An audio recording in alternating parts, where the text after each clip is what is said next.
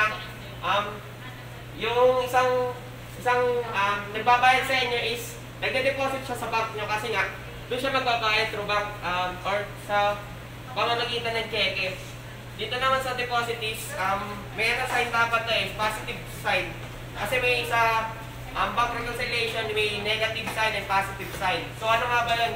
Itong deposit deposit is ayan yung ano positive sign kasi siya mismo yung, ah, ayun yung dumadagdag or yung pera na pinapasok sa bangko nyo. Pag deposit, in transit, positive lagi yan. Baka lumabas din sa exam yan. Pero ayan, positive sign yung ano, deposit in transit kasi pinapasok sa inyong ah, sa bangko nyo. And next, yung, yung pera. So next naman yung outstanding check. Outstanding check is outstanding check is a financial instrument that has not yet been deposited by cash by this recipient.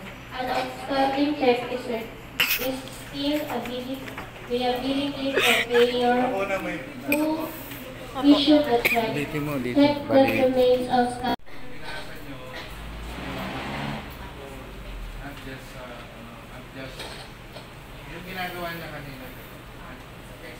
So ayan po sir, yung outstanding checks naman po is, ito naman po yung makikita natin or sinasabing negative sign ng bank reconciliation. So, so bakit nga ba outstanding check ng cheque? And minsan kasi sa ang record natin, lalo na sa mga accountant, is tinecheck nila kung ano nga ba yung ang nilabas ng nilabas na pera ng kumpanya. Kung magkano ba ito, kunyari, 100k nilabas ng kumpanya through cheque or cash. So, dito naman, outstanding check natin nawag kasi kaya negative, nung maglalabas tayo ng pera, bumabawa sa ano nating company.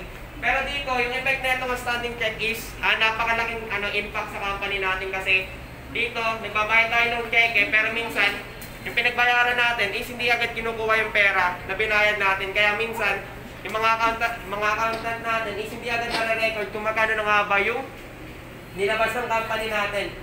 Nagkakaproblema lang dito sa outstanding check pag ano, ah, end of the month na kasi doon na naglalabas, nagbabayaran ng pera, uh, pinapasahod yung mga ah, employers, o yung mga employees, di ba? So, doon nangyayari.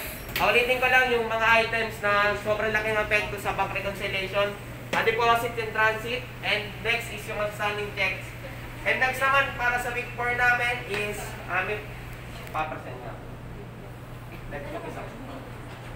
Hindi, hindi ka. Madami. So, para naman po sa week 4 namin is yung um, bank reconciliation statement.